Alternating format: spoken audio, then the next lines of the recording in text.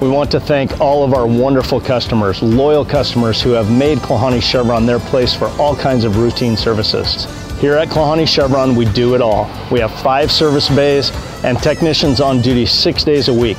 Oil changes, brake repair, coolant flushes, new tires, new batteries, and general repair provided by our ASE certified technicians. Here at Klahanie Chevron, we do it all. See you soon. Our last video covered luxury cars. This time we'll look at what are called classic cars, since many people are captivated by their beauty, rarity, and history. TheBalance.com says most organizations that specialize in classic cars agree that 25 years is at least how old a vehicle must be to be called classic. But there's not a perfect agreement, being some have added their own rules. For instance, some automobile clubs say 20 years is enough to qualify as classic. The Classic Car Club of America is considered to have the definitive definition of a classic, saying they must be only certain models produced between 1915 and 1948 and chosen by their representative fine design, high engineering standards, and superior workmanship.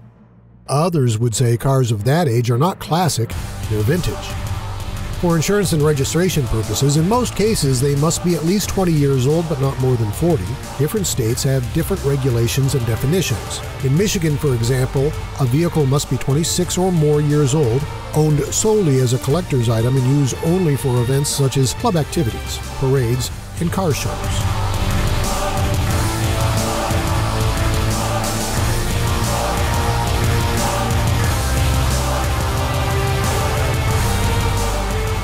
I'm Brad Heimbigner. Klahanie Chevron is here to help you, which is why we offer our monthly car tips videos.